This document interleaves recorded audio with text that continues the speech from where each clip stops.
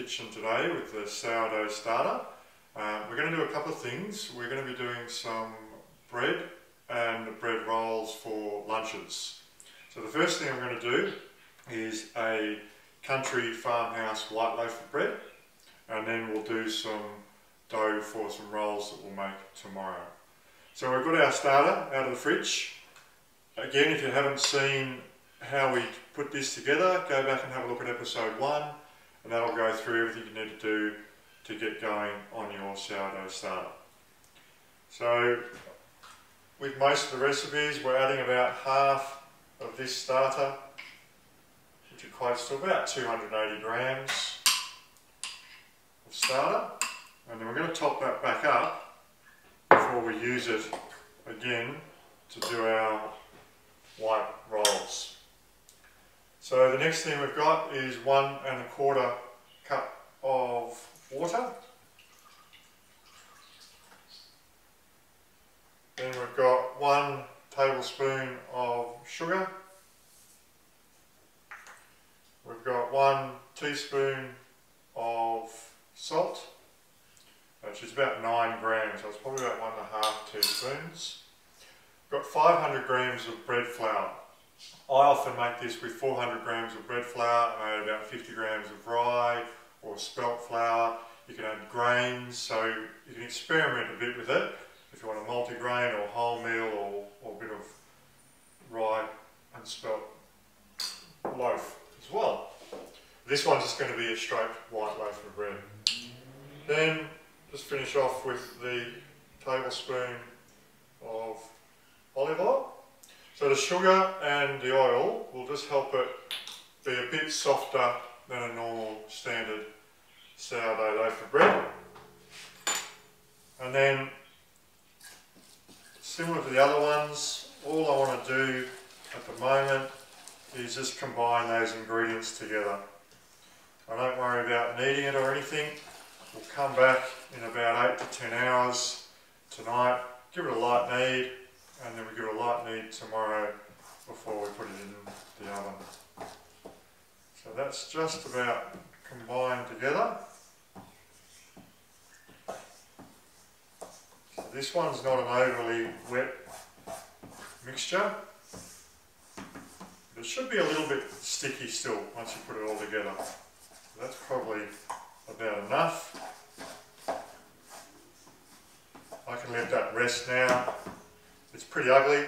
It's not really put together too much, but if you give that about 8 to 10 hours, that'll then start coming together and you can give that a really light knead later on. So I'll put that aside and we'll get ready to start for our rolls. So I used half the starter, so I need to top that back up again. So about 150 grams of flour and I'll just put about 150 mils of water in. I'm just topping it back up to pretty much where the level was before. So I've got quite thick starter that I want to combine with the flour and water that I just put in to our mix. So I want to give that a good mix so I'll make sure that a good amount of starter gets in to our next recipe. Alright, so that's looking pretty good. It's still pretty thick. See that? So, we'll get our next bowl.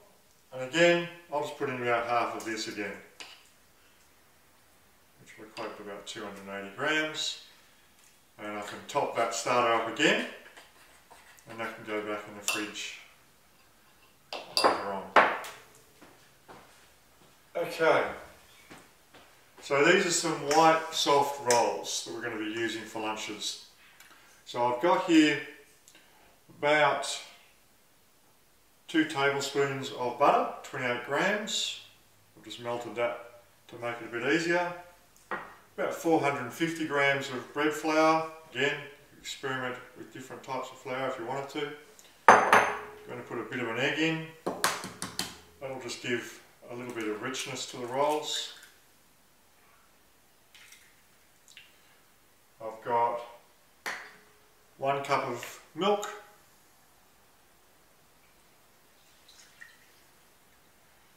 I've got a quarter of a cup of water.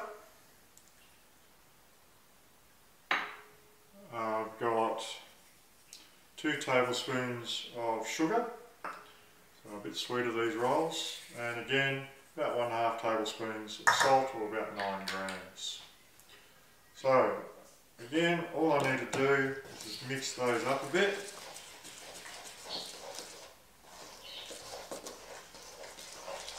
This one's got a little bit more moisture to it than the other loaf. It's the butter, the egg, the water and the milk.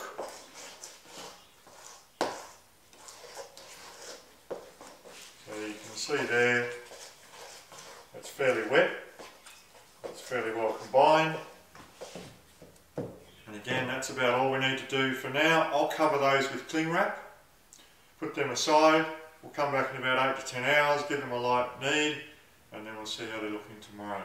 So before I finish up, I would just put in uh, another 150 grams of flour, 150 mils of water. That'll get the starter back into the fridge, ready for next week.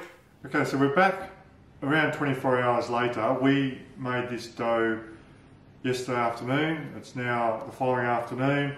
All I did was last night give it a light knead, similar to the way I'm going to show you now, and then that's risen up quite a lot. So we hadn't had to do too much work with it at all and you'll see how stringy and elastic that dough is. I'll take that off.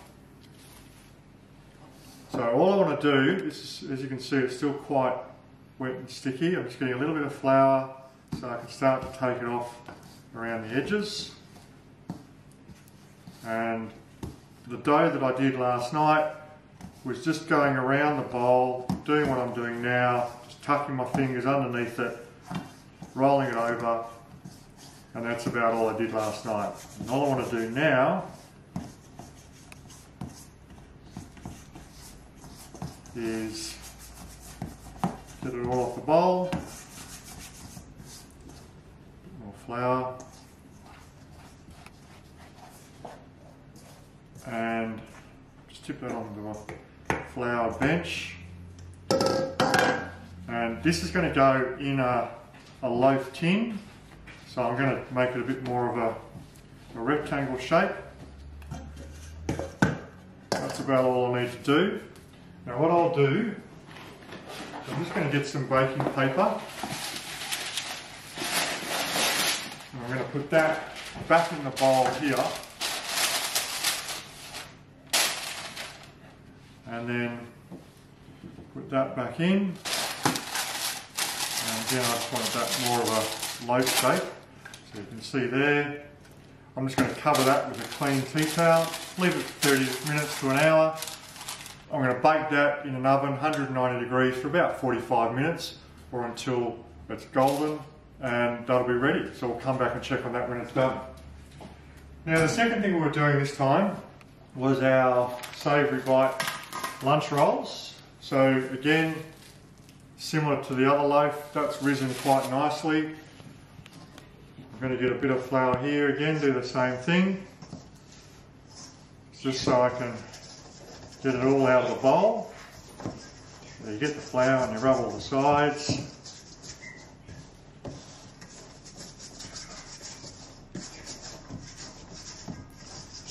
And once that's just about ready to come, make sure the bottom's not sticking too much.